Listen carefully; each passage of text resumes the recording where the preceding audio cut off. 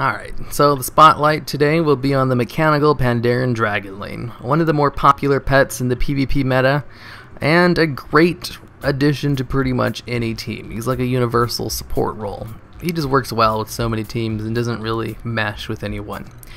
Uh, this guy right here, he's available through engineering. You can just make him with some Pandaren mounts, not, oh, I totally messed it up.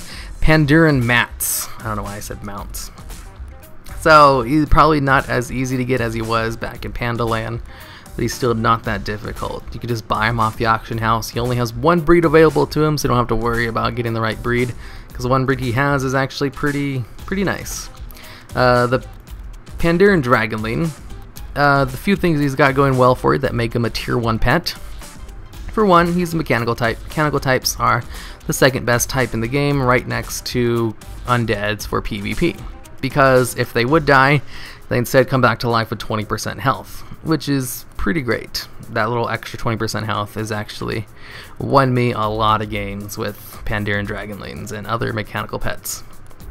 And he is a perfect counter to all magic types, thanks to him being both a mechanical type and having a spammable dragon type ability.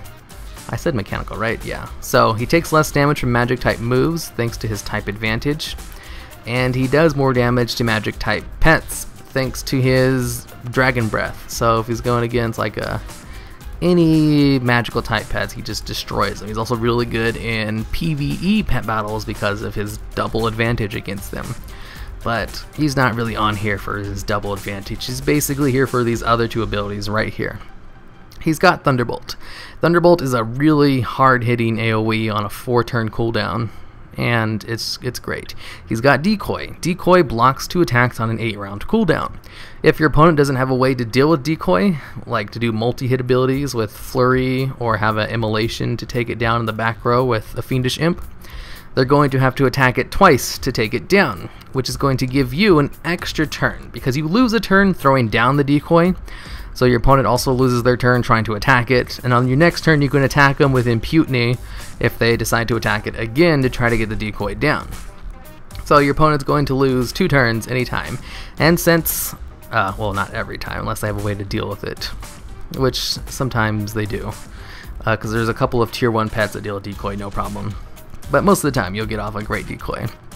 Since the Mechanical Pandaren Dragonling is an SS type, and goes first more often than normal non-fast pets since he's 309 speed. He's not very fast for a fast pet. He gets pretty much outsped by every single other fast pet in the game that are SS. That's what I mean by fast pets. Or just off-breed rabbits. But he is faster than all non-fast pets, so he will be able to go first more often than not, since not all pets in the game that are great are fast pets. Like, look at Graves, he's slow as shit, so you'd be able to outspeed him no problem. And then, uh, if you go first, you can more accurately use Decoy to block problem moves.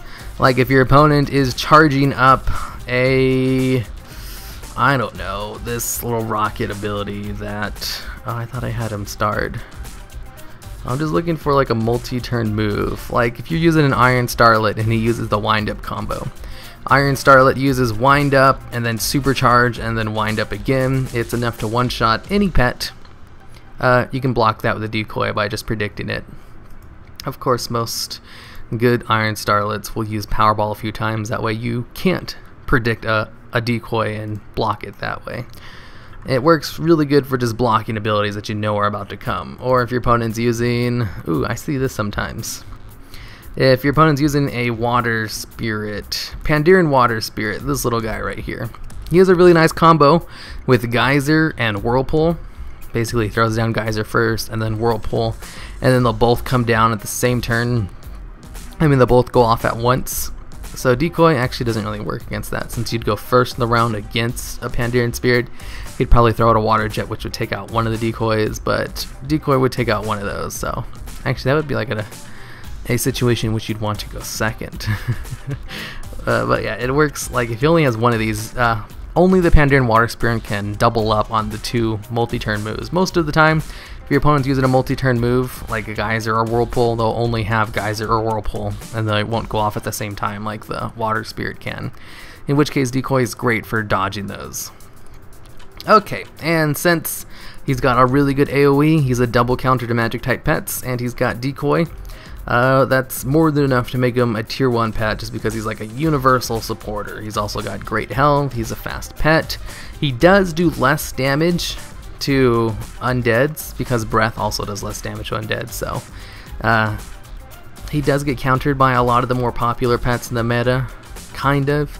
He's still able to kill a vast majority of the undead pets just because of Decoy and Thunderbolt. And the less pets your opponent has, the harder Thunderbolt hits, so he's still not blown out of the water by undead pets. He's still great. He's one of the best tier 1 pets in the game right now just because of I really can't stress how good Thunderbolt and Decoy are. Decoy is great. Thunderbolt just makes him even better. He was a tier 1 pet even back when Thunderbolt sucked ass.